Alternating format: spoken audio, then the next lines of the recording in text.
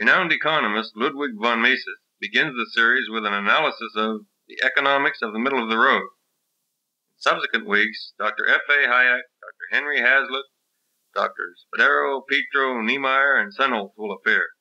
One, a third system. A third system that is called by the economist interventionism. A system that retains private ownership of the means of production, does not want to nationalize and to socialize. Enterprises, a system that retains, therefore, private enterprise, but that improves a system in which the government interferes by orders and by prohibitions in order to prevent all those things which the government doesn't like.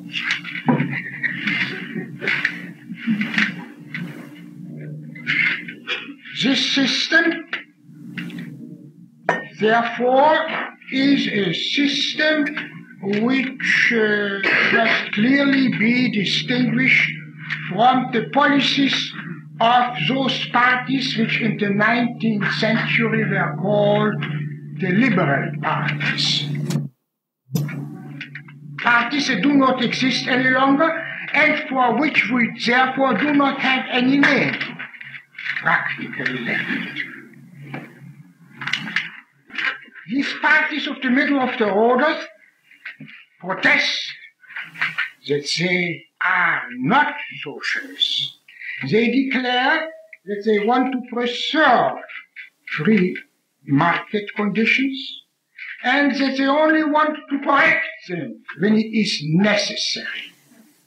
But the question is, who has to determine whether such an interference is necessary or not necessary? Of course the government says so.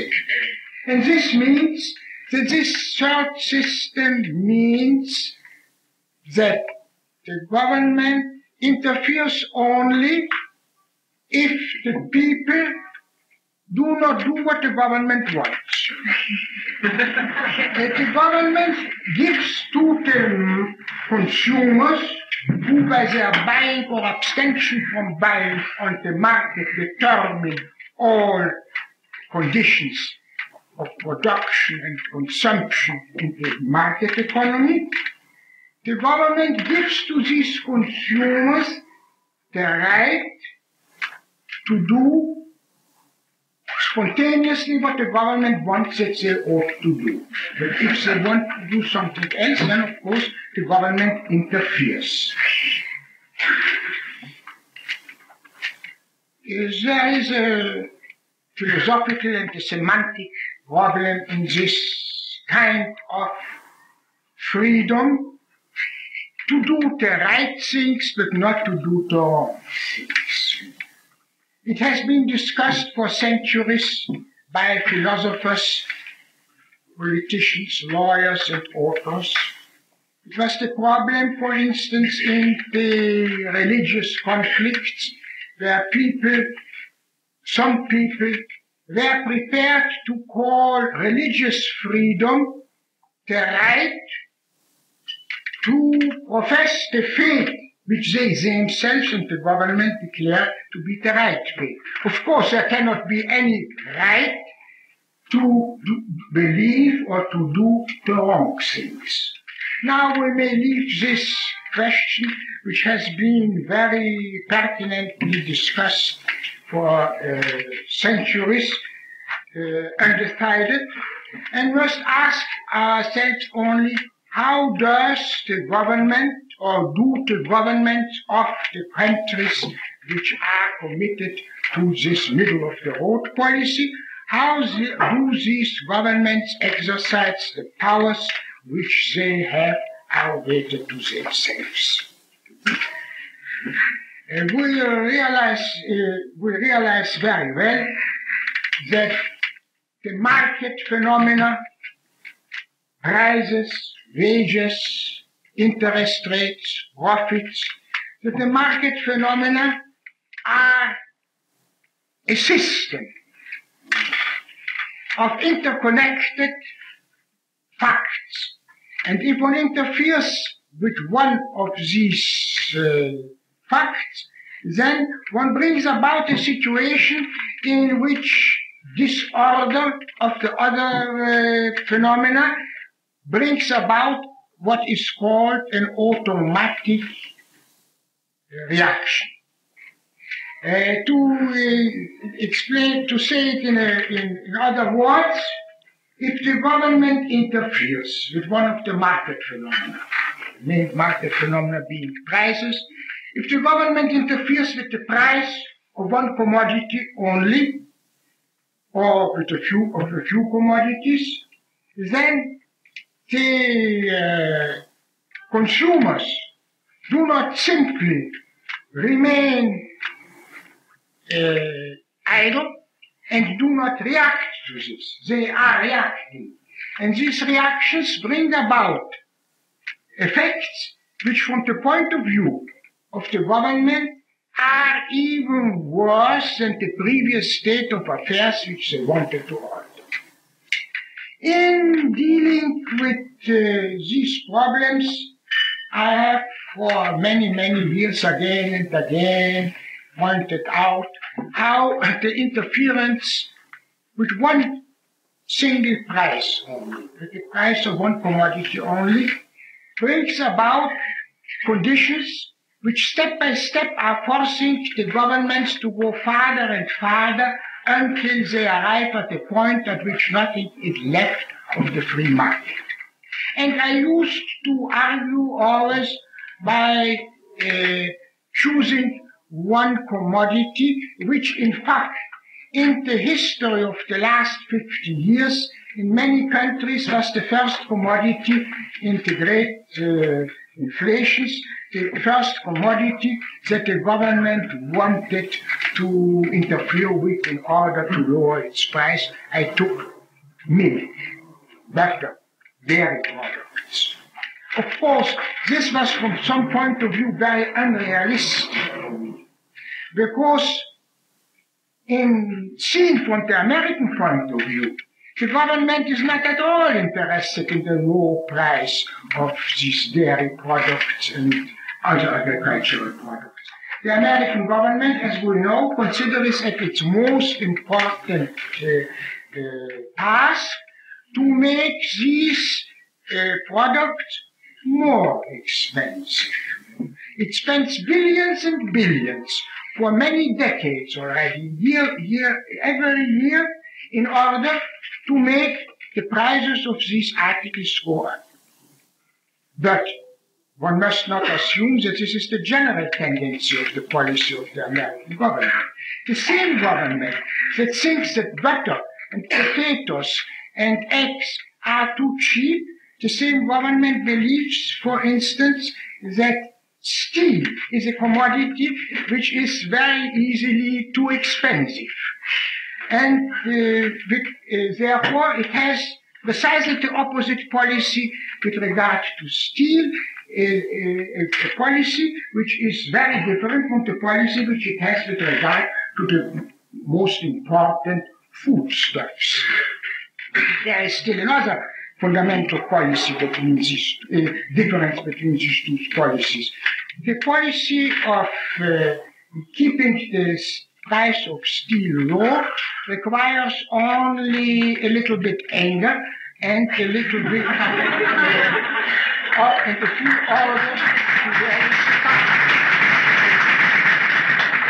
But the policy to keep the prices of agricultural products high is a very expensive policy because the simple order, the simple appeal to the uh, various uh, government committees, commissions, the Department of Justice, and other such institutions wouldn't su- uh, make it possible, wouldn't be sufficient to make butter more expensive than it uh, is on the unhampered market. And therefore, the government is forced to do something, to pay something. It pays in withdrawing uh, uh, uh, agricultural surplus products from the market and storing them. There's a very interesting uh, point about this question, surplus product. What is a surplus? We hear very often that it's one of the uh, tasks of the policies of the government and especially also of the policies of the United Nations and formerly the League of Nations to embark upon policies that prevent the emergence of surpluses. Now, what does, for instance, a surplus of coffee mean? It means that coffee uh, will be available at cheaper prices. And those people who can't afford an expensive uh, coffee, but can afford cheaper coffee, will certainly not call this situation a surplus situation. Therefore, the semantics of all these things is already very uh, interesting. It is, uh, we are, uh, uh, and out of these semantics develop very special uh, criticisms of the attitudes of the public. For instance, as uh, the, the, whenever the governments interfere, then they try to justify their interference with some neglect of important points or important things on the part of the people. For instance, we know very well that especially the problem of health it, plays a very great role in such ideas. Now, a short time ago, a very important functionary of the American government blamed the American consumer for not consuming sufficient quantities of certain foods uh, because the doctors had declared that overindulgence in these foods brings about undesirable consequences for human life and for, uh, for the heart and for overweight and these other questions. I am not a doctor, I can't give you the details, but the fact is that the government blames the public for not eating enough butter and for not uh, consuming enough uh, fats and so on. And then the government says, we must interfere, we must buy larger quantities of these foodstuffs to take them out of the market, because otherwise something dreadful could happen the prices would go down, and people who cannot afford today to buy uh, butter would be in a position to buy more butter than they used to buy. now, all these things appear so terribly crazy uh, that one wants to that one wants to have to find some guiding some guiding idea that determines the whole, what what is going on. And this guiding idea is, is that every, that there is something automatic in the world that brings about improvements in the standard of living, improvements in production. Progress, technological progress, they call progress in productivity is considered as something that happens. It just happens. One doesn't know why. And therefore, the, uh, uh, it is not uh, possible for any act, actions on the part of the government to stop this progress. Uh, we have uh, uh, therefore developed a new doctrine, a new branch of economic studies that didn't exist several years ago. If you look at the textbooks of, of economics of uh, maga- uh, scientific magazines of economics, upon the daily reports, in, in the newspapers and so on. You couldn't find 10 or 15 years ago any uh, reference to the phenomenon that is called growth. One always knew that the improvement in economic conditions, the improvement of the standard of living and so on depends on an increase in the capital invested per head of the population.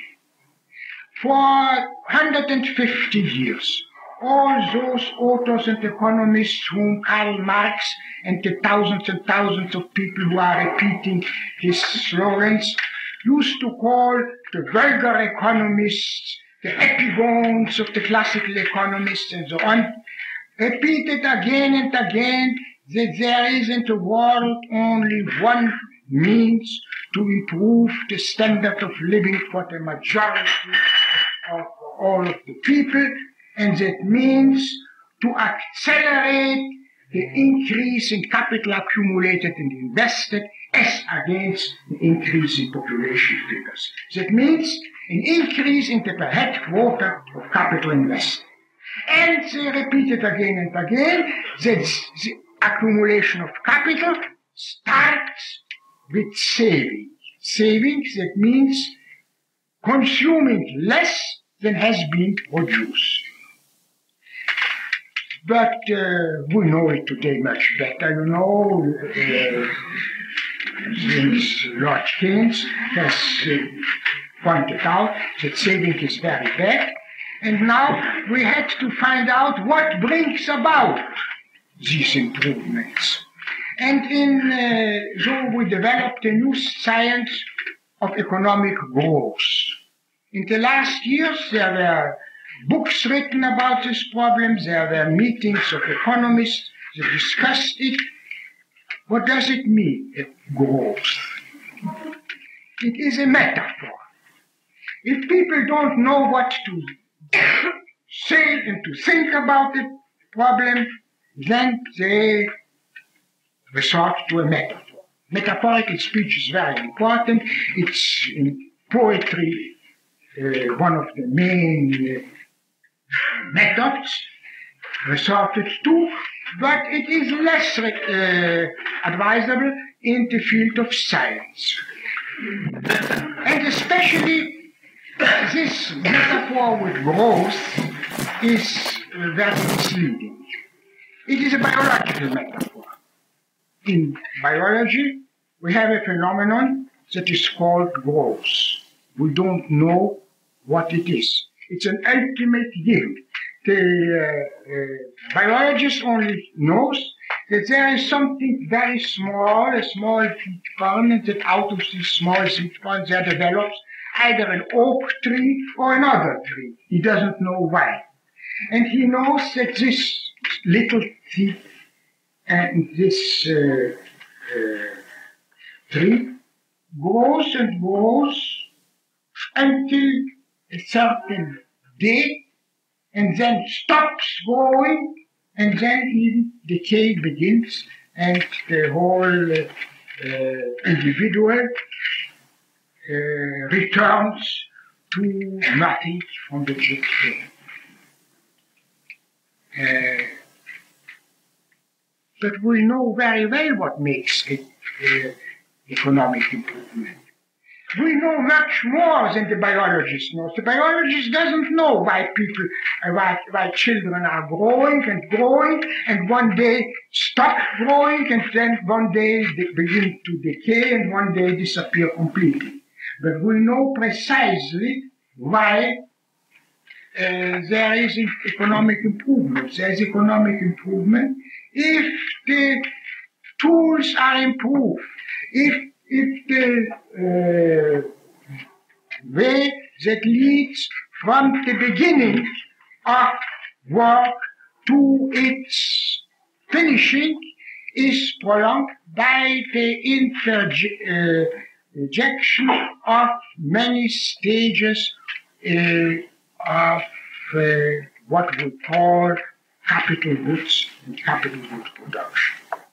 Therefore, we must realize that the basis, the scientific basis, as it were, if we don't want to deny them that this gross doctrine is also scientific, at least a scientific metaphor.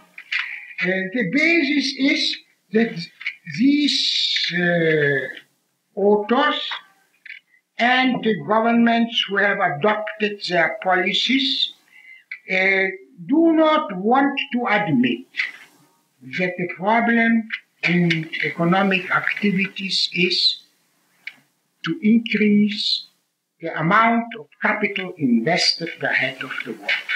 The old, very old thing. I read only a few days ago again in a book that the special uh, British economist McCulloch was considered by all progressives in the second part of the 19th century as one of the worst laissez-faire economists.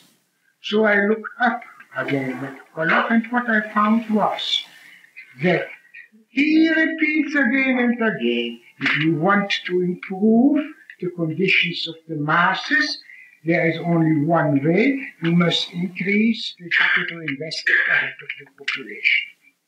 And if we uh, compare the conditions in various countries of the world today, we realize very well that what is called productivity depends on the amount of capital invested per head of the worker.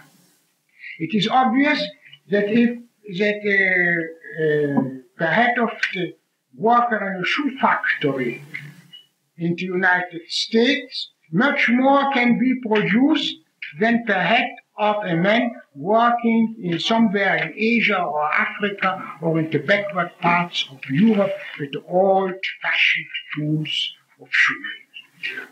Uh, we, uh, and because more shoes are produced, the people who have to go without shoes decline in number. And this is such a simple thing that it needed really the development of the theory of growth to conceal it, to make it possible to tell the students, to tell the public, to tell the government that we need is a rate of growth. And this rate of growth is considered as something that falls from heaven. One doesn't know why, uh, and one, uh, but one has only to say growth is very important. And then these people said, we want to measure the growth. And they measure the growth in, of course, you can't measure economic uh, uh, quantities otherwise. They measure them in terms of money. But uh, what they do not uh, take uh, uh, into account, or let us say not sufficiently into account, is that this uh, this term, this measurement in money, is in a period in which the governments, with uh, full, full uh, uh, knowledge of what it means, are inflating, uh, that this comparison is, uh, that this measurement is very misleading. And it is still more misleading if one compares different countries in which the rate of inflation is different. Therefore, it is very easy to point out, uh, even if we assume uh, that the Russian statistics are absolutely correct, it is very easy to uh, calculate that the rate of growth in Russia is greater than the rate of growth in the United States, and that therefore in the year 27,533, the Russian economy will be on a much better and higher stage of development than is the present day American economy.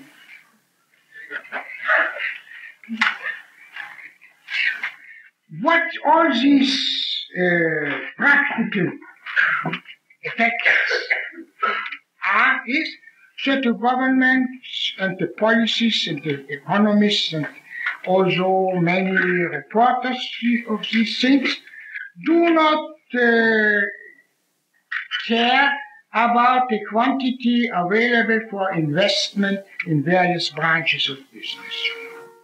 Uh, they do not raise the questions what will happen if capital consumption will one day be so great that the result that it will not be uh, covered or supplanted by accumulation of new capital in other fields.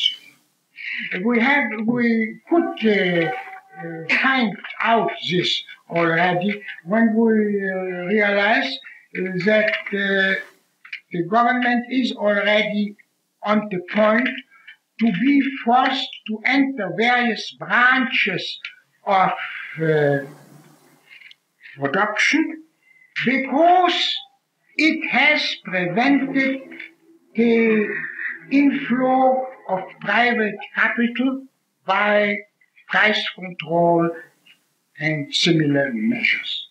I want only to name two fields. One is the field of housing. Rent control has, in this country as well as in all other countries of the world, brought about one fact that the government had to go into housing. If you do not let the individuals uh, uh, fulfill certain uh, uh, uh tasks, then the government must step in. And we will very soon have in uh, this country a problem of very great importance, the problem of the railroads. Uh, the uh, railroad story is very interesting and it may, may also point explain what the advantages are of this middle of the road system as against socialism. Many countries in the world have nationalized their railroads.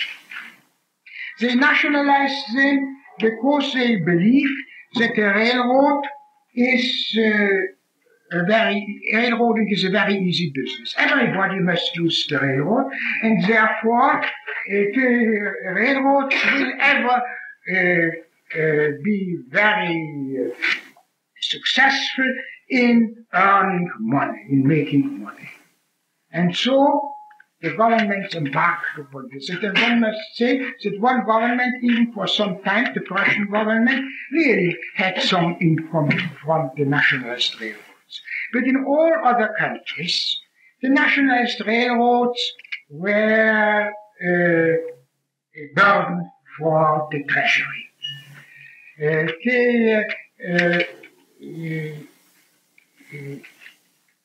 nationalist railroads are today the more the main deficit makers.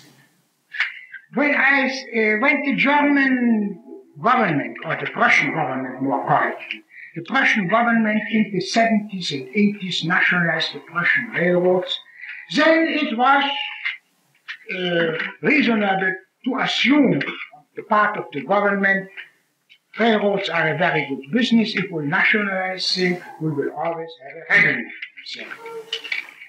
But uh, about uh, 50 years later, or uh, one day, I had the pleasure of meeting an eminent socialist in Great Britain.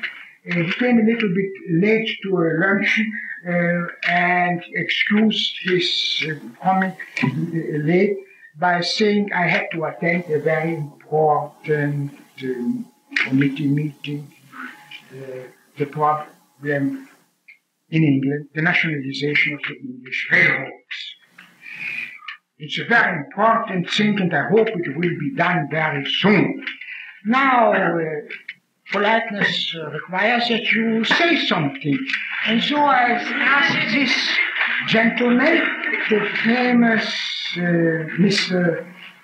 Uh, Sidney Webb, I asked him, now look, when Bismarck nationalized the Prussian railroads, he, he, he nationalized a flourishing business And he expected that this business will also flourish under the administration of the Reichskanzlei.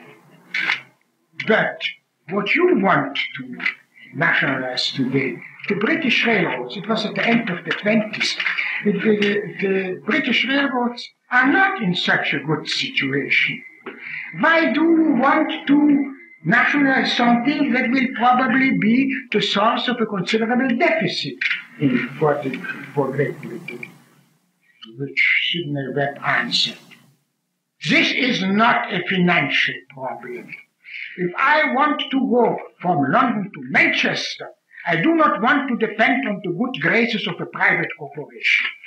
I said, then that, Eh, because you don't want to depend on the corporation, you want the British taxpayer to pay yearly a deficit of In this regard, you know, the system of this middle of the road system is certainly was certainly for some time of an advantage. The Brit American government did not nationalize the railroads. It, it uh, regulated, as, as the term is called. It means it made the railroad, it conducted all the important affairs of the railroad business. Rates, it determined the rates, and it determined the uh, wages of the employees, and it prevented any improvement in the methods of transportation which would have reduced the number of employees. This is the famous situation out of which the featherbed story developed. Therefore, from the point, from the purely financial point of view, which of course in the eyes of Sidney Webb didn't count, one must say the uh, uh, railroads, let us say, for instance, in Italy, in Switzerland, in Austria, are producers of deficits. And the railroads in the United States for a very long time were not only not producers of deficits because their deficits didn't uh, uh, didn't fall upon the treasury. They paid taxes, and the government had some income from them. Of course, this period comes to an end. And this is why I mentioned this whole story. These, these, these, these advantages of the middle of the road system come to an end.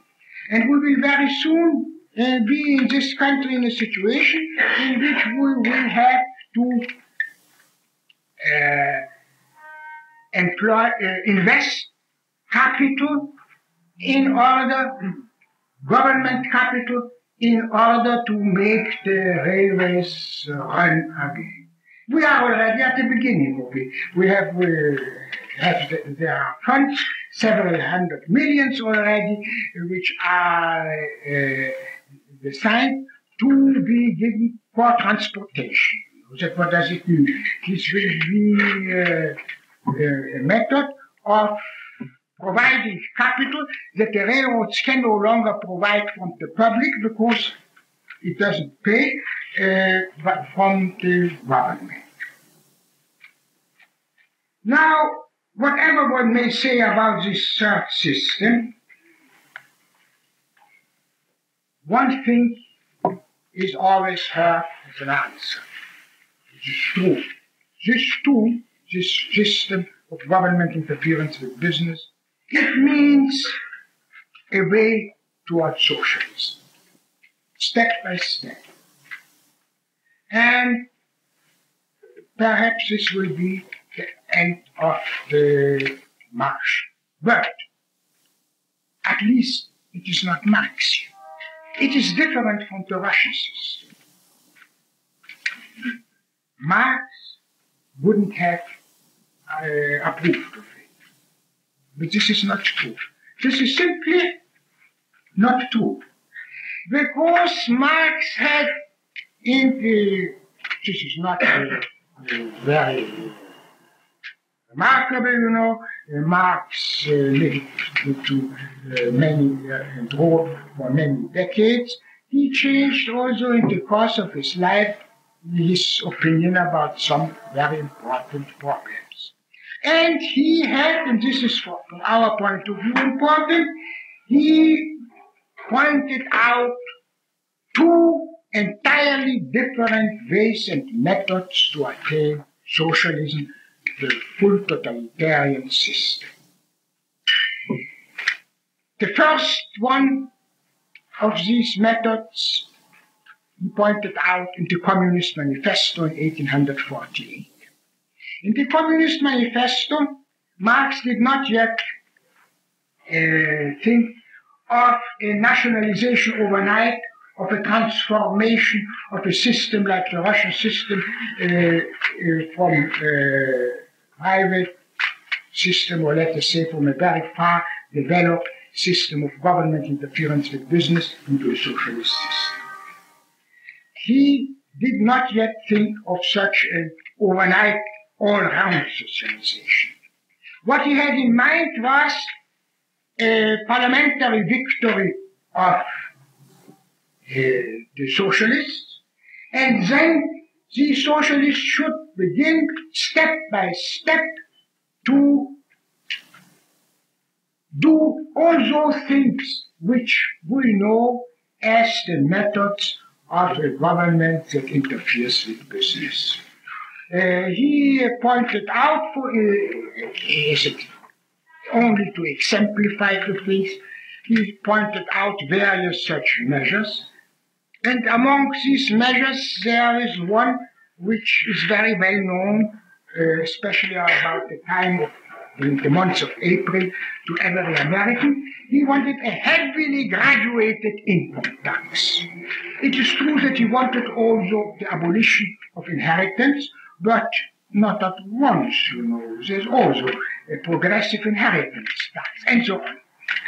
There were various things in these points, and later Marx and Engels added that there could also be considered some other points apart from these things.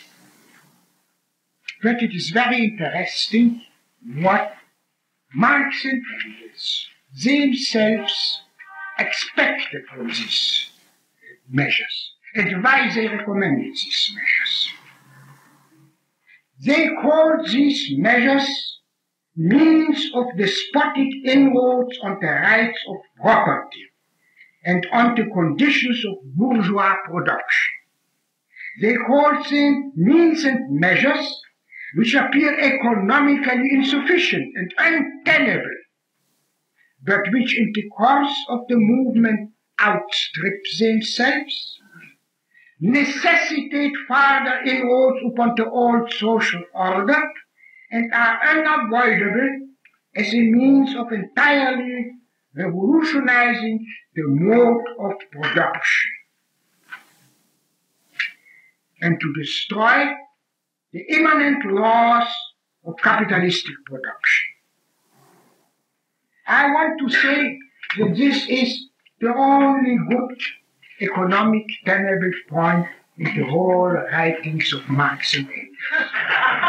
they realized very well that these measures are untenable and that in the course of the movement they outstrip themselves. And they learned more and more in the course of the years. They had in 1848 written this in the Communist Manifesto.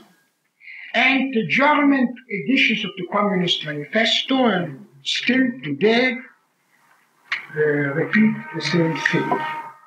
But several years after the death of Marx, in the middle of the 80s, an English, translation of the Communist Manifesto was published, an authorized translation, and this translation was edited by Engels. And Engels added a few words only to what, he, what had been said in the previous days. But these words show that Engels and probably also Marx had understood very well, or at least learned very well, what these measures mean. They necessitate these words which he injected in 1885 are necessitate further inroads upon the old social order. This is the characteristic of interventionism. All these interventionist measures are insufficient in themselves, and they are forcing the government either to go back to the free market or to go farther and farther until they come to a point in which nothing is left of the free market. This was a proof in a very, in a wonderful way, as if it had been an experiment made in, uh, in a laboratory. It had been proved in Germany in the First World War, and then again when uh, the Chancellor Brüning and later Hitler, his successor, one of his successors, adopted again price control in Germany, and it was uh, proved in England in the Second World War with the price control measures. If one limits only the price of one commodity, what one brings about is precisely contrary to what the government wanted to attain. The government wanted that this commodity, let us say milk, will, should be available, more easily available to poor people. But the effect is that those producing with the highest cost, the marginal producers, are going out of business. They must go out of business because as conditions are, private individuals cannot produce Uh, with losses. They, either they are going bankrupt or they stop in time and use, for instance, their cows and their milk for other purposes. One can make butter and then oughtn't to wait until the government limits also the price of butter and so on. Now, what did, what can the government do if it has to face such a situation? The government wanted to make this commodity more easily available, and now the supply drops. Of course, the government goes to rationing, but rationing is not uh, satisfactory. What the fact remains that precisely because the government interfered, the supply drops. Now the government asks the people, why does the supply drop? And then the farmer will say, you know, the dairy farmer will say, it drops because uh, now production of milk does no longer pay. Uh, why does it not pay? Now look, here is the price of uh, fodder and of other things. Oh, it's the price of fodder which is too high. Very easy. And the government interferes with fodder. One needs only a little bit of paper and ink and it's done. But then the whole story repeats itself with fodder. And so, from step to step, it happened in Germany in the First World War. They began really, I think, only with whipped cream. I don't know. but after three years, they arrived at a plan, the Hindenburg Plan, which regulated everything. Also the production of luxuries. Why? Because if one had left the production of luxuries free, then capital and labor would have gone into production of luxury where there was no price limitation. And the Hindenburg Plan made it complete. Complete socialism according to the uh, system in which everything was done by the orders of the government. Unfortunately, the, there came to the defeat, and the Hindenburg Plan disappeared with many other things. In the Second World War, or already before, with the Hitler regime, the same thing uh, repeated itself in Germany. Starting with a few uh, articles, they had to go farther and farther until they had a system in which everything was determined by the orders of the Reichswirtschaftsministerium or of one of its subordinate offices. And uh, the, uh, uh, there was, it looked the whole thing looked as if there were still capitalism. Some names, some labels of capitalism were even left. Not all. For instance, what was uh, what disappeared was the term labor market. German labor must not be uh, negotiated on markets, one said. But what does it mean? The workers were assigned to the factories in which they had to work, and they had to uh, receive the wages that the government had ordered, and the businessmen had to buy the raw materials where the government ordered it, at the prices the government ordered it, and to sell the products and so on. Everything disappeared. The entrepreneur was no longer an entrepreneur. He had, he was called with a word for which, for which the best English translation would be uh, chief manager, uh, uh, shop manager, Betriebsführer. Everything was with the Führers. Now, in England that was fighting against the Führer, the same economic laws brought about the same effect, starting with a few articles only, which they wanted to uh, uh, limit in price. Uh, Great Britain uh, had to go farther and farther until at the end of the war, almost the whole British economy was a socialized economy, socialized according to the German type of, uh, uh, let us say, according to the Hindenburg It was, socialism came to Great Britain not as an effect of the uh, labor uh, government that uh, took, over, took office after the war, but as the uh, as a product of the war cabinet headed by uh, Sir uh, Winston Churchill, in which, of course, half of the members were representatives of the Labour Party.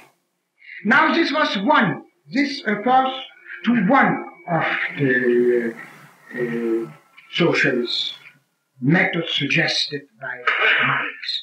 But in it, when he went to afterwards, when he moved to England and to the reading room of the British Museum and discovered the British economist, he changed in many regards, or in, every regard, his ideas.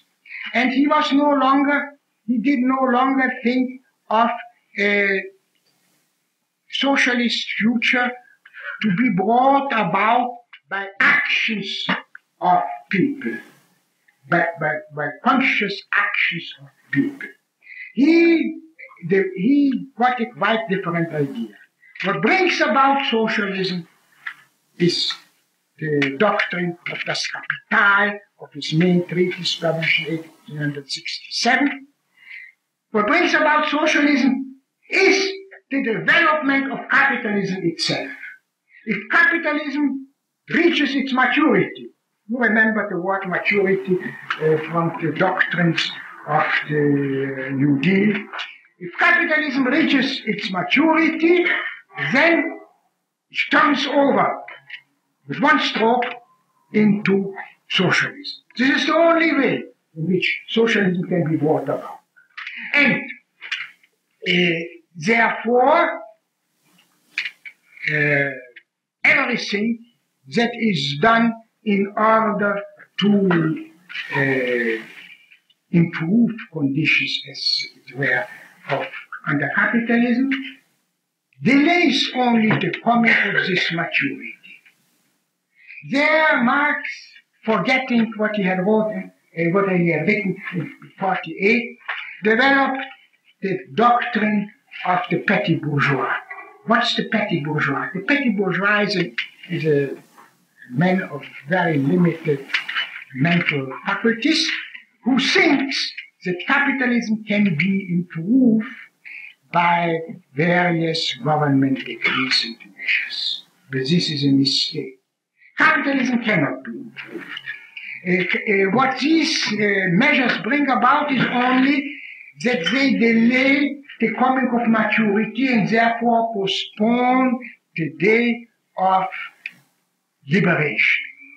What brings about this liberation is, on the one hand, a concentration of all property in the hands of a continually shrinking minority of exploiters, on the one hand, And on the other hand, the progressive impoverishment of the masses. How this uh, impoverishment of the masses can be brought about is, from the point of view of the Marxian doctrine, not to be explained.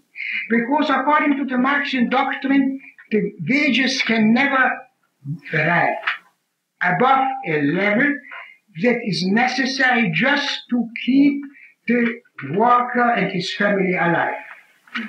If wages go higher up, then there will be an increase in population figures and the pressure of the unemployed will bring wages down again to the normal level, to the existence level.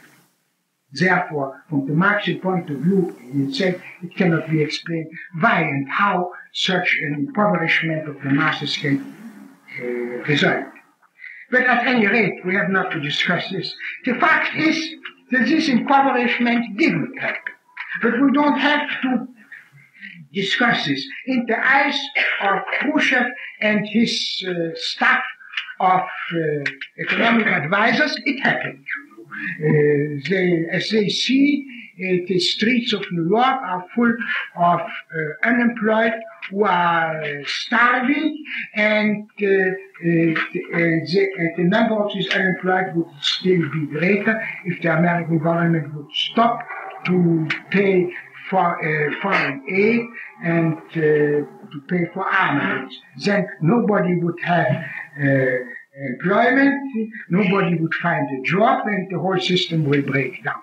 But this is how conditions look from Moscow. They look different from other points uh, of the surface of the earth. This is also something that we will have to tell this man who comes from another uh, planet. Uh, there are many other difficulties in this second the doctrine of Marx, which is today the official Marxist doctrine. There is, for instance, the very uh, difficult problem uh, that, uh, according to this doctrine, the maturity of capitalism is something that is brought about by this by the historical evolution of capitalism itself. Uh, people cannot accelerate it, people cannot delay it. And only when this capi- when capitalism has reached its maturity, only then can socialism be uh, realized.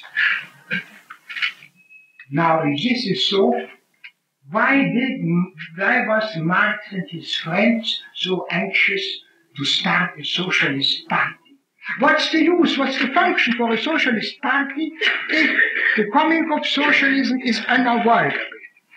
Is like, as Marx says uh, in Das Kapital, the coming of socialism with the inexorability of a law of nature. We do not need a party, uh, books and magazines and newspapers and uh, all these other things in order to bring about the next, next earthquake. This next earthquake will come with the inexorability of the law of nature.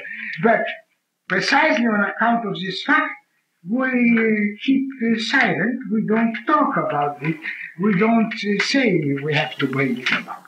But this, this is all uh, of minor importance. The most important thing is for us that although this method of socialization. Also, this step by step improving, as people think and think, the uh, capitalistic system by government interference. Also, this system brings about, according to Marx, to socialism.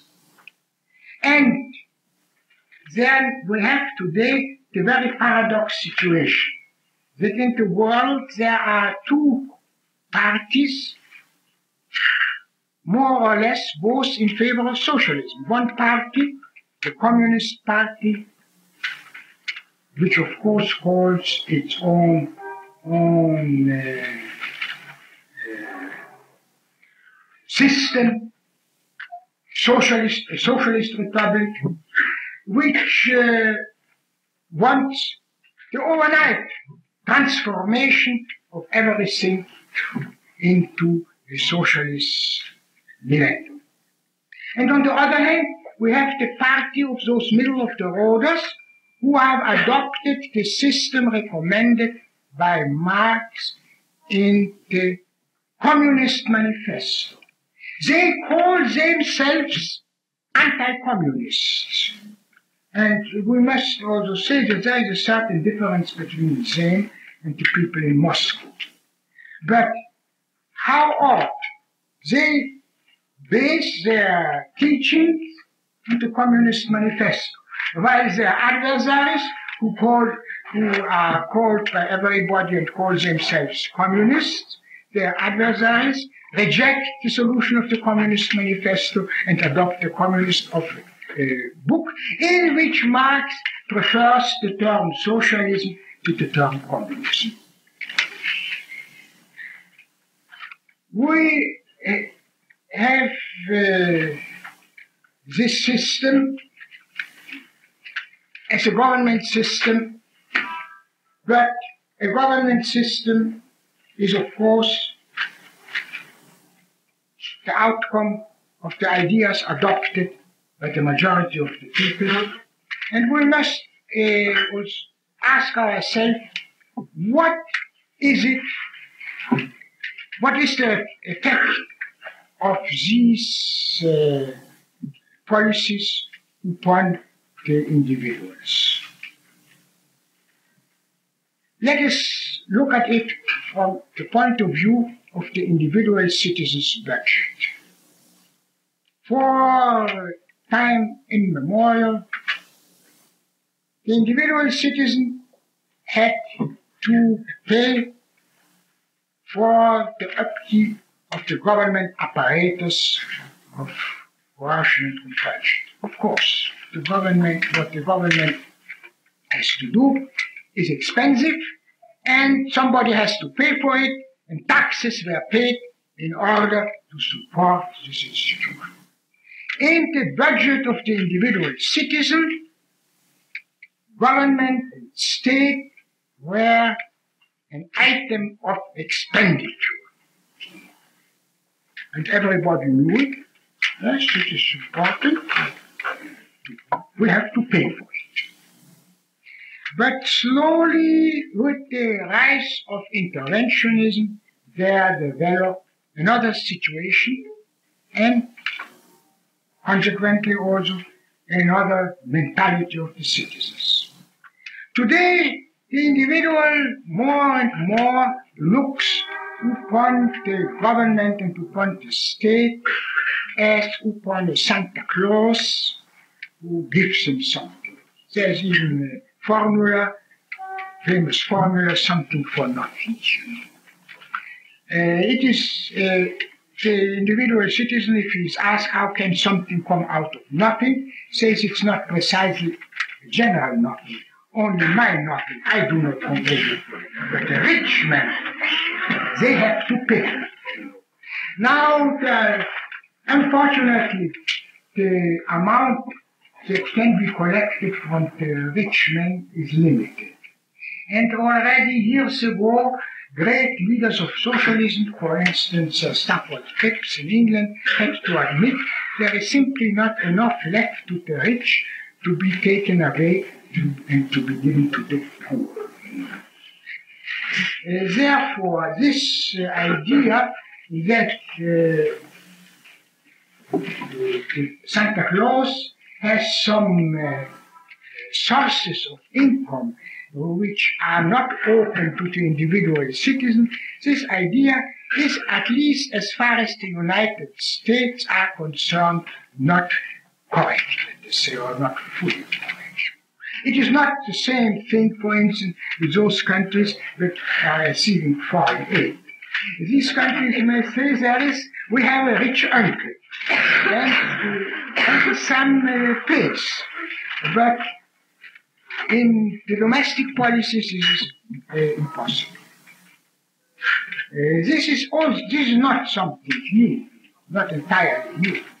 Uh, 2000, several hundred years ago, a great Greek lawyer, politician, and speaker, Isocrates, said, our citizens of New York, uh, of our citizens of Athens, it's the same in New York. Our citizens of Athens go into the town hall meeting with the ideas with which the shareholders of the corporation go to the meeting of the, the annual meeting of the shareholders. They want to get a dividend. And it is, it is obvious that this is something that cannot be done by a government because the government has no other sources of income than taxing its citizens. I wanted to point out this because it shows us that the whole, that the whole attitude of the uh, Uh, citizenship changes under this system of government interference with business. It is a paradox. It is a, a, a, a really something that cannot be explained, that we are expecting more and more from the government. Of course, we are only at the beginning. Now we have already, we know the government has to give uh, uh, education to everybody, it has to give hospital care, care for the aged, for the old, care for the children, it has to provide various entertainments, it has to do various things. It's the beginning, you know.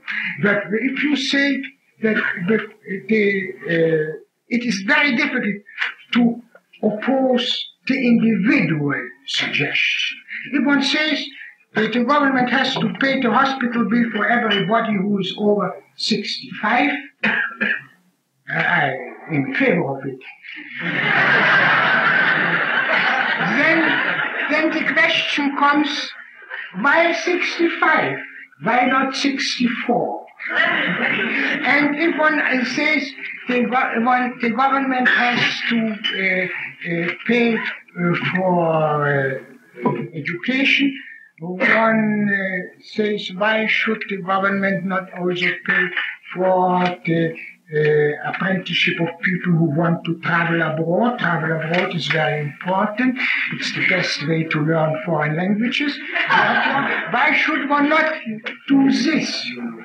It is the difficulty to find, uh, and this difficulty uh, is. Uh, multi- uh, is uh, still greater when we realize that there that this is not the method in which one uh, increases his expenditures. The method is by, by certain groups of people called pressure groups uh, that are asking for such improvements. There's the very important pressure group of farming in this country. I mentioned it already. The farmers are asking the government for subsidies. Uh, the uh, government subsidizes. Why should only the farmer get such subs- subsidies? Why should not, uh, for instance, the the textile industry that also has some difficulties, why should not also the textile workers and the textile enterprises Uh, we, uh, and if the textile enterprises are getting it, then the question comes, why should not another branch of business get the same thing? The clear division between a government and the production activities of the citizens must be left untouched. As soon as one begins to question this clear distinction, one enters a field in which there is no stopping point. And this is also true with regard for certain types of taxation which we have called progressive taxation. It is uh, generally assumed that it is perfectly right to tax the higher incomes at a higher rate than the lower incomes. Why? Because their ability to pay is higher. Certainly, uh, you can't ask a $10,000 uh, income tax from a man whose income is only $9,000. But if once you adopt this ability to pay principle, then where is the stopper? The higher, then every higher ability to pay is considered as an invitation to the pressure groups and to the members of Congress who depend on these pressure groups every two years on election day to uh, do something that makes this higher ability to pay disappear.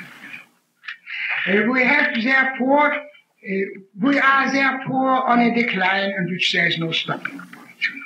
And if you want to stop, you cannot say precisely 91% is the highest uh, percentage of the income tax is something that must be left for all times to come. Because there come from time to time, there come emergencies. An emergency, in the, in the uh, terminology of uh, the budget makers, is the situation that the government asks for more money for a higher budget, but that the members of Congress are not prepared uh, to uh, or that are not able to find a source of taxation, a source of higher income for the government, which will not endanger their re-election chances. And this is the problem. And now the re-election chances are uh, uh, not endangered by taxing the people with higher incomes. Uh, the, uh, if, uh, the whole policy, all theories, everything is today directed and guided by the problem of re-election. Why is the government in favor of higher prices for butter and for lower prices for steel? No philosopher can answer these questions, but it can be, they can be answered very easily by the campaign makers. They will tell you how many votes have the steel makers and how many votes have the butter makers.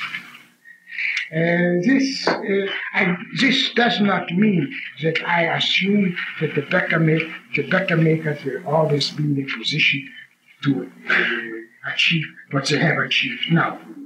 After all, it's a paradox situation that the immense majority of the American people votes in favor of higher prices, artificially higher prices for commodities which they are consuming and not producing. Uh, I don't know whether one out of 500 or 400 people in the United States is interested in a higher price of sugar. Nevertheless, the whole policy of this country is in favor of higher prices for sugar. And this is not merely a problem of uh, budget. It is not merely a problem that it makes a very important uh, foodstuff more expensive and that the taxes must go up because the government has to pay all the subsidies that are needed in order to make sugar more expensive. It is also a very important problem, for instance, of foreign policy. The whole foreign policy of this country was in uh, uh, influenced, let us say, and not in a very favorable sense, influenced by the fact that we didn't like foreign sugar. If we say we, you must ask the question, who are the others who are included in this group? I want to exclude myself. I am not a producer of sugar, and probably most of those present here are in the same situation. The very fantastic situation that minorities, small minorities, are in a position to determine the course of these middle of the road policies.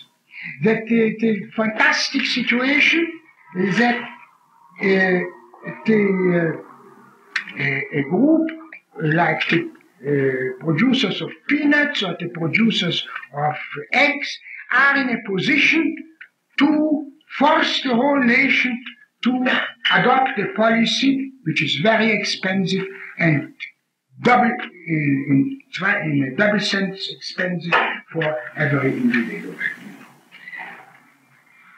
This uh, may show that the problem of the middle of the road policy is not merely an economic problem. I don't, if I say merely economic problem, I am quoting other people.